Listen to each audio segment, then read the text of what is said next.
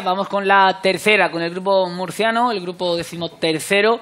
A ver cómo han ido los resultados y cómo está la clasificación después de 18 jornadas disputadas. El Pulpileño perdía 0-1 con el Yeclano, la Unión y el, Huelca, y Huercalovera empataban a 1, el Lorca empataba a 1 con la Deportiva Minera, el UCAM le ganaba 2-0 al Cieza, el Ciudad de Murcia vencía por 2 goles a 1 al Algar, el Pinatar vencía 2-1 al Palmar, el Muleño idéntico resultado ante el Churra, al igual que el Águilas Mar Menor 2-1, el Olímpico de Totana ha perdido en casa 0-1 con el Lorca Deportiva y el Estudiantes eh, Nueva Vanguardia le ha ganado 3-2 al Imperial.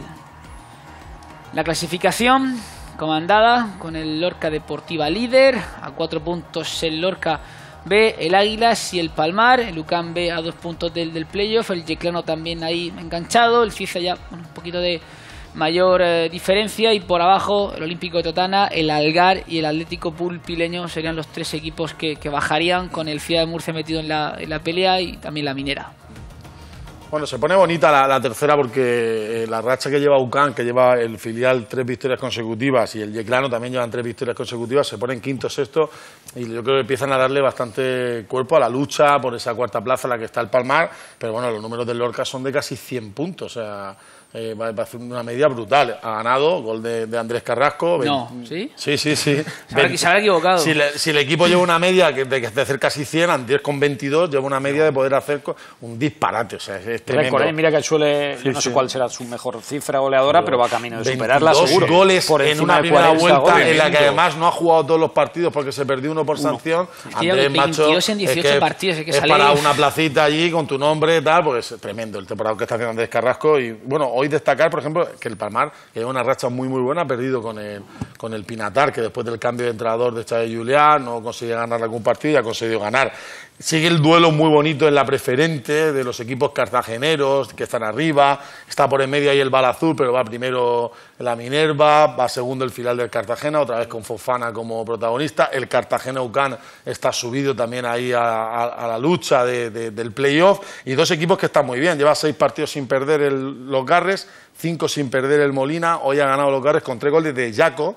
Destaco este futbolista porque este jugador Jaco estaba en la, en la Unión, Unión, sí. en- a un nivel muy bueno en tercera división. Ahora está jugando en los Garres y bueno, me alegro porque es un chaval muy interesante que en preferente ha metido tres goles. Y bueno, buenas noticias en la división de honor de, de juveniles. Empezamos ya con la libreta. Está- Sí, bueno, esto, Ah, vale, esto ya vale. era parte, lo, de- lo de Vale. Jaco ya era Vale, parte de la libreta. Vale, Porque vale, todo- vale, no, Vale. era por anunciarla Sí, como se merece ya la parte, ya- entramos en la división de honor. Bueno, el Ranero le ha clavado cuatro al Atlético madrileño. O sea, que el Ranero, ya no sé qué, en, qué, en lugar ya subirá Mapeca, porque el trabajo es sensacional. Va cuarto, ha conseguido meterse a la cuarta plaza, pero lo grande del trabajo que está haciendo el Ranero es que en Liga Nacional va líder.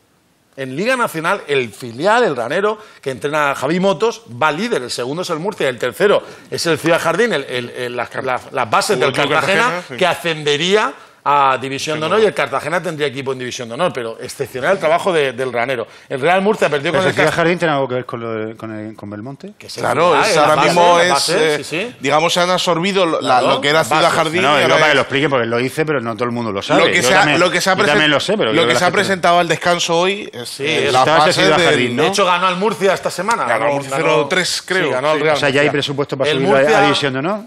Sí, sí, la idea Vale, es. Yo intento seguir, pero sabes que es muy difícil. Bueno, el Murcia paciencia, perdió paciencia, Joaquín, con el. Castellón, eh, está octavo, Ucán, muy buena victoria contra el Levante, pero ha ganado el Lorquí.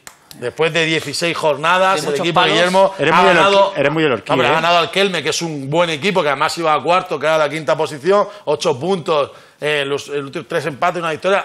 Está a 7 la salvación, hablaremos después de... de- De por lo menos del, no, de San Valentín, porque tan pronto no va a salir de atrás, pero bueno, muy, muy buena, interesante victoria. En el fútbol femenino, por cierto, tuvo jornada el jueves, entre semana, además hubo derby, el Murcia le ganó a- al Lorca Féminas, al, al Brócoli, y el Murcia ha ganado hoy 9-0 al Ciudad de Benidorm. Por no nombrarlas a todas, pero Carmen María ha marcado tres.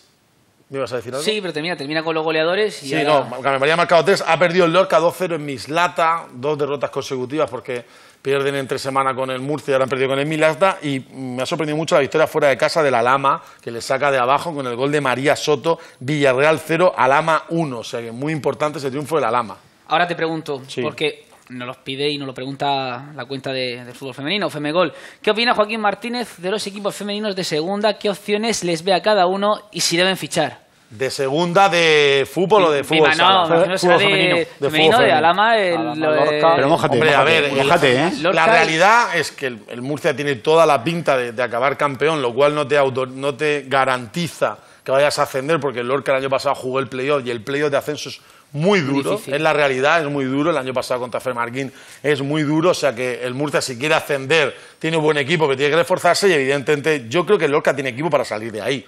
O sea, yo creo que en cuanto encuentre una dinámica buena, no va. Y ahora mismo el objetivo de Alama y el Lorca debe ser no pasar a ¿El Burgos. Murcia tiene algo de Fernández Romo ahí o no? No, no, yo creo que no tiene absolutamente nada que ver. En el fútbol sala no hubo, como te comenté la semana pasada, no hubo jornada porque España ha quedado subcampeona en el torneo Cuatro Naciones en Alcázar de San Juan y en el partido que le ha dado ese, bueno, la segunda plaza del último partido, que era un cuadrangular contra Portugal 2-1, María Consuelo Campoy, que es jugadora del Jimby, ha marcado uno de los dos goles, así que enlazamos y la metemos en los goleadores eh, de la región porque esta semana vamos cortitos. Entonces, ¿Sí? quiero destacar, ya que hay pocos, los dos que han marcado están en un nivel muy, muy alto. Uno es eh, Alfredo Ortuño, Uno más. que yo creo que, bueno, en los números de Ortuño ha metido dos, lleva No. 11, lleva 11 Dos golazos, goles. ¿eh? Dos golazos. He sacado, lleva, Alfredo Ortuño lleva 35 goles en las últimas tres temporadas y esta que llevamos y media, 35 Hoy en ha- hoy han segunda dado un dato división A, ¿eh? En onda regional, que creo que ha tirado esta temporada, lo ha dicho Gregorio esta tarde. que menos Que ha tirado necesita 35 para veces a puerta, gol. 35 veces a puerta esta temporada y ha marcado 11 goles y creo que Messi ya más de 50 y pico disparos. 40 y Yo creo- 54 Titular, Ortuño No, mejor lo que digo Messi. porque al final llama, Efectivo, por lo menos. llama a la puerta de primera división. Los números que está haciendo Alfredo Ortuño, 35 goles en los últimos tres años y medio, ahora 11 goles este año en segunda división con el, con el Cádiz, muy interesante,